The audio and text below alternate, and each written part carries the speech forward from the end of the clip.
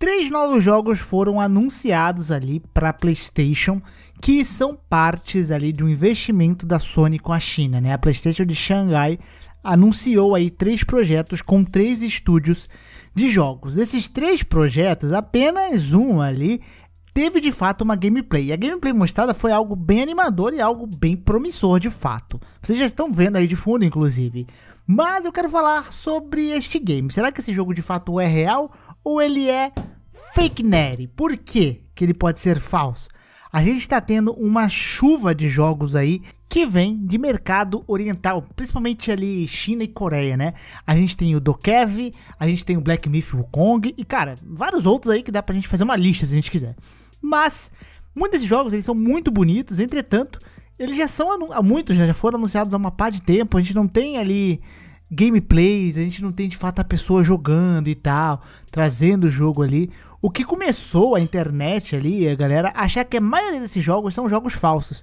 São jogos feitos para atrair investidores e tal. Tem um vídeo meu comentando um pouquinho sobre isso aqui, tá? Principalmente de um rumor que surgiu sobre o Dokev, que era justamente para atrair investimento, mas que não são jogos reais tá? E muitos jogos chineses que são bonitos, eu começo a criar um pouco, ele ficar um pouco pé atrás. Talvez eu mude essa mentalidade quando sair um Black Myth, esses jogos cumprirem a expectativa. E esses três jogos anunciados também são jogos de estúdios chineses, desta vez em parceria mesmo com a Sony, com o financiamento da Sony. E, né, desses três jogos únicos que tem gameplay, eu vou falar o porquê que eu acho que esse jogo de fato deve ser real. Não parece algo mentiroso e vocês vão entender por quê. Mas vamos falar disso aqui. Não esqueça de deixar seu like, participa aí para concorrer ao Play 5, né? Você pode concorrer ao Play 5 ou o valor dele, tá? Então, o link está aí na descrição para você participar. E vamos falar desses joguinhos sendo anunciados pela Sony, tá? Vamos começar primeiro com o China Hero Project, tá? Que é chamado The God Slayer, que é um RPG de ação feito pela Pathia. A Pathia é um estúdio que desenvolveu um jogo chamado My Time Sandrock. Eu nunca joguei esse game, tá? Mas ele é um jogo de sobrevivência e é um estúdio que já tem pelo menos um jogo ali no seu portfólio. Esse aqui é o primeiro jogo anunciado e ele não tem trailers, né? Vocês estão vendo que eu estou passando imagens. Ele tem apenas imagens. As imagens são bonitas, parece um jogo interessante e tal, mas a gente não consegue ver nada do combate, nada do tipo. Entretanto, ele está em parceria aí com a Sony de Xangai e, né, tem investimentos para fazer um bom jogo.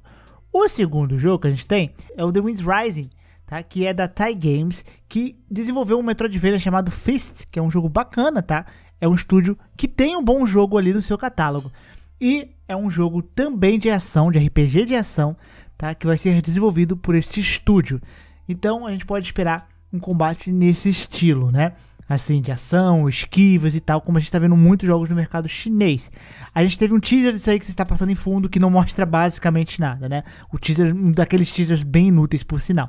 Aqui, né, segue a jornada de uma garota de uma vila pacífica que embarca numa grande aventura depois dela encontrar um filhote de monstro que pode afetar ali o crescimento ou a queda do reino inteiro, tá? E o destino está mais ou menos na sua mão em relação a isso. Você vai ter um combate leve e um combate ali fluido, de acordo ali, imersivo e uma história cativante, é o que diz ali a descrição deste game, tá? E por último, nós temos aqui, né, o jogo que de fato tem um teaser e parece estar bem bacana, que é o Daba Land of Water Scar. O Daba, ele parece mais promissor, né? Ele parece bem promissor, é o único que tem trailer ali de fato. E a gente começa ali mostrando um pouco dos personagens. Aparentemente são dois personagens que a gente vai ter no jogo. Esses personagens eles não são humanos, né? eles são tipo bonecos de cera, de cerâmica, algo do tipo. Então você consegue ver quando aparecer os bonecos que de fato eles realmente parecem ser meio que robóticos, o sonzinho assim, engraçado, né? A gente tem algumas visões que mostram um pouco dos inimigos, cenários, que dizem que vão ser variados deste game e a gente consegue ver um pouco do combate, que é um combate ali hack slash, né? Que tem aquelas firulas de você pular, ataque no ar, esquiva, né? Eu não sei se ele vai ser um jogo Souls-like, mas ele tem a cadência, né? Um combate hack slash mais cadenciado. E a gente tem a personagem feminina também ali, que a gente controla, que ela utiliza uma espécie de arco e flecha, tá? Você pode utilizar algumas armas que parecem ser bem criativas, né? E garras, por exemplo, causar parries, arco e flecha, como a garotinha usa. Uma coisa que eu acho bem legal desse arco e flecha é quando ela tira, a física corresponde com o cabelo ali do braço, né? E as movimentações dos personagens estão bem fluídas, né? A esquiva parece funcionar muito bem, o parry parece funcionar muito bem, e os chefes parecem ser bem criativos. A gente tem um chefe gigante ali, que é tipo um peão, um sino, um outro chefe cheio de braços e o personagem vai utilizando o parry. Então, assim, a ambientação do jogo, o combate, a esquiva, né, o estilo hack slashzão, parecem muito bem feitos. Parecem muito bem fluidos, né? Você pode pular no meio do combate. É um jogo que parece bem focado é, em lutas de chefes, tá? Então você tem esse daí o jogo que é o Land of Water Scar, que a princípio vai sair para o PlayStation apenas, mas pode ser que vá para as outras plataformas, tá? Então é mais um daquele jogo chinês bonito, bonito, coreografado, você vê o combate, você acha maneiro e tal, né? Mas o porquê que eu não acho que esse jogo é um daqueles jogos feitos para investimento e falso? Primeiro que é uma parceria com a Sony, o que seria estranho, eu acho, né? Um jogo que seria um feito apenas para sumir com o dinheiro, a Sony dar este devido investimento. Ah, o segundo ponto é que o estúdio que está por trás desse jogo é o Darkstar. Ele é o mesmo desenvolvedor de um Souls-like legalzinho ali, que é o Sinner Sacrifice for Redemption. Ele era um Souls-like que eu comentei sobre ele aqui alguns anos atrás, e é um jogo exclusivamente de lutas de chefe. Ele é feito por um estúdio muito pequeno, mas você consegue ver que tem uma certa ali uma certa qualidadezinha na movimentação do personagem e tal. Era um jogo que tinha vários probleminhas, tinha alguns probleminhas de questão de variedade mesmo, tinha muita pouca variedade dentro da customização do personagem. Você tinha alguns probleminhas da esquiva, mas, cara, era um estúdio muito pequeno, fazendo um jogo que saiu interessante, pelo menos no quesito movimentação. Então, é um estúdio que já tem experiência em criar um jogo estilo Souls ali, Souls-like, ou que tenha um combate hack and slash com uma esquiva ali, um combate mais cadenciado, né? O Sinner, embora não seja um jogo perfeito, ele tenha seus problemas, ele era um jogo bacaninha, ainda mais na época ali que saiu, né? Ele era um jogo que, assim, me diverti com esse jogo.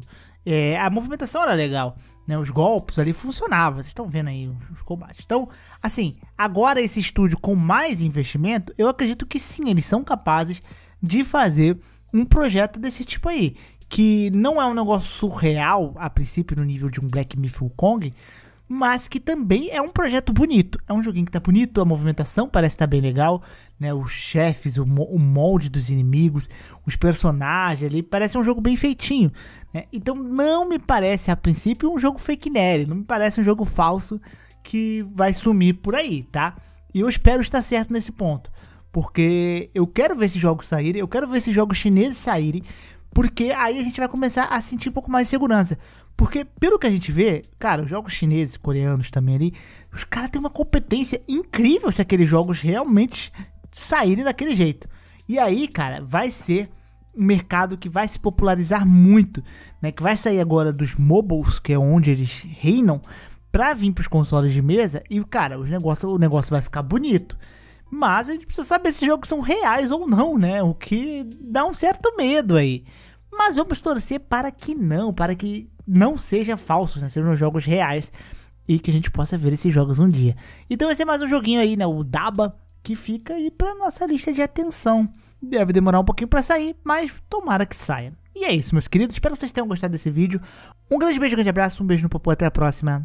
E tchau!